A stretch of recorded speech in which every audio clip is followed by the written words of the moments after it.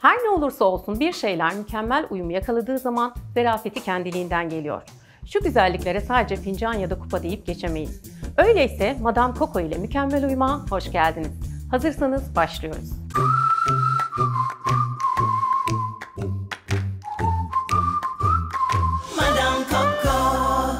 Söz konusu kahve fincanları olunca porselen seçeneklerin yoğunluğu dikkat çekiyor. Bunun sebebi ise özellikle hacimli kahve seçeneklerinin uzun süre sıcak kalma ihtiyacından geliyor. Ancak kahve türüne göre birçok cam seçeneği de mevcut. Cam tercihinde de ya kalın camlı bardaklar ya da görünüşüyle ayrı bir çekiciliği olan çift camlı bardaklar öne çıkıyor. En çok bildiğimiz yerden başlayalım.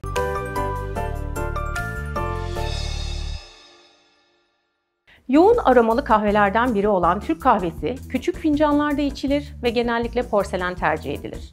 Zaman zaman cam da tercih edilir ancak otantik ortamlarda toprak malzemeden servis edildiğini görebilirsiniz. Yanında da yine küçük bir bardakla su servisi yapabilirsiniz. Fincanınıza uyumlu bir su bardağı tercih edebilir veya kristal bardaklara göz atabilirsiniz. Aslında Türk kahvesinin fincan ihtiyacından bahsetmişken konuyu espressoya hızlıca getirmek hiç de yanlış olmaz.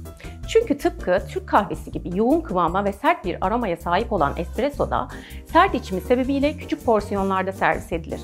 Bu sebeple Türk kahvesi ile espresso'nun sunum fincanları birbiriyle oldukça benzerlik gösterir. Ancak önünüze geldiğinde sunum şekli ve kıvamları nedeniyle kolaylıkla ayırt edebilirsiniz. Türk kahvesinin üzerinde köpük bulunurken espresso'nun üzerinde ince bir krema vardır. Americano ise espresso kadar yoğun bir kıvama ve keskin bir tada sahip olmaması sebebiyle biraz daha büyük, orta denilebilecek fincanlarda servis ediliyor. Aslında Americano'da porselenin yanı sıra kahveyi camla görebileceğimiz alternatiflerden birisi. Kahvenin dağılımı cam bardaklarda farklı bir görsellik sunuyor. Ancak ne olursa olsun mükemmel uyumdan bahsediyorsak Americano'yu öncelikli olarak porselende sunmanızı tavsiye ediyoruz. Kullanacağınız bardağın büyüklüğüne ve arzu ettiğiniz içim sertliğine göre bir ya da birkaç shot espressoya sıcak su ekleyerek Americano'nuzu servis edebilirsiniz. Bardak konusunda en büyük özgürlüğe sahip kahvelerden biri filtre kahve. Bak diye tabir edilen her türlü fincanda içilebilir. Dikkat edilmesi gereken en önemli nokta sıcaklığını koruyabilmesi için kahvenin tepeleme dolduruluyor olması. Yani bu sebeple tercih edilen bardağın dudak bölümünün buna uygun şekilde düz gelmesi gerekiyor. Çünkü yana doğru açıldığı zaman dökülme riskini artırıyor. Cappuccino'lar için ise durum tam tersi.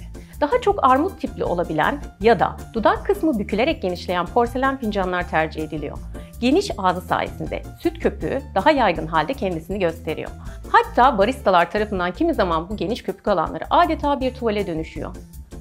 Kahve denilince camı baskın şekilde başka nerelerde görüyoruz? Birlikte bakalım mı? Öncelikle soğuk kahvelerde kullanımı çok yaygın. Genellikle çikolata, meyveler, soslar gibi sunumu zenginleştiren öğelerle servis edilen soğuk kahveler için cam tercih ediliyor. Çünkü gösterişli içeriğini bu şekilde daha görünür kılmak mümkün. Hafif tadıyla hatta içerisinde bolca buzla servis ediliyor olması sebebiyle de büyük bardaklar kullanılıyor. Cam demişken latte'den bahsetmeden olmaz değil mi? Espresso'nun sütle yumuşatılmasıyla yapılan, içimi oldukça hafif olan bu kahvenin bol köpüğü bulunur. Böylelikle bardak yapısı da o köpüğü gösterişli bir şekilde taşıyabilmektedir. Finalimizi ise macchiato ile yapabiliriz. Yumuşak bir tadı olan, bu sebeple hem ılık hem sıcak olarak tüketilebilen bu kahve için aslında özel bir bardak önerilmez. Klasik macchiato, espressonun üzerine süt köpüğü eklenmesiyle içimi yumuşatır. 60 mililitrelik bardak tercih edilebilir. Ancak süt eklemesiyle servis edilen latte macchiato ise daha geniş hacimli, yaygın olarak kupalarda servis edilebilir.